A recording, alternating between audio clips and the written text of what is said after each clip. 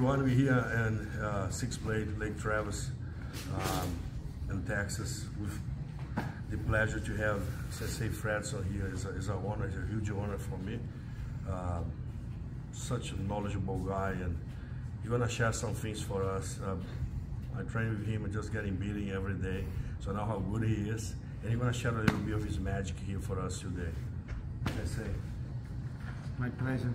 I want to show guys uh, Esgrima Fredson Press. You can see the position in the book the University of Jiu-Jitsu. Stay in the pass, the side. Stay in the side. But the guys wanna keep his hips. Then he's blocking here. I wanna turn my body, then hold my his elbow like this and turn my elbow down. Then have a la basic, a lot of control this position. When I'm stand up, I keep it, keep it tight and easy to me and over, then go to the arm bar. Okay. Time. Pass, then change and esgrima.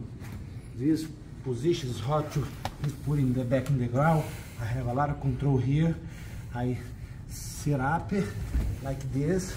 I use my foot inside and go to the arm bar.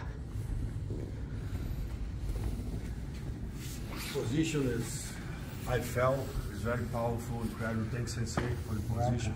My pleasure. Please go straight to New Zealand. Nossa. Nossa.